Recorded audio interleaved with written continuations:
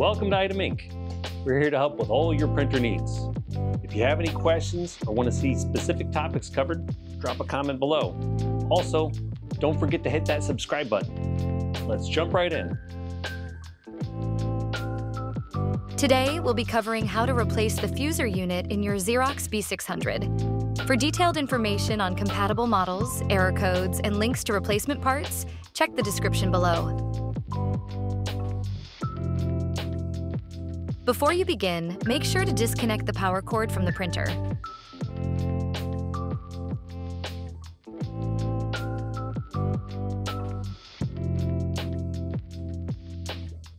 Open the rear cover assembly.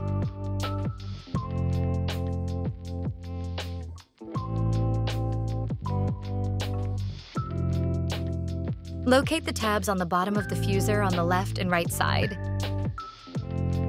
Then, while holding the tabs on both sides of the fuser, lift and gently pull to remove the fuser. Do not handle the fuser right after use, as it may be hot.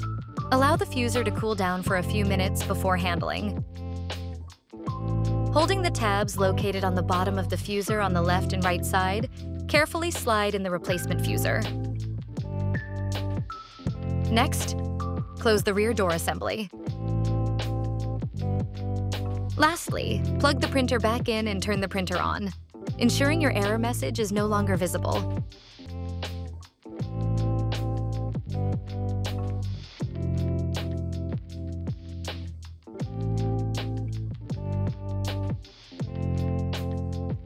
Well, that wraps up our step-by-step guide.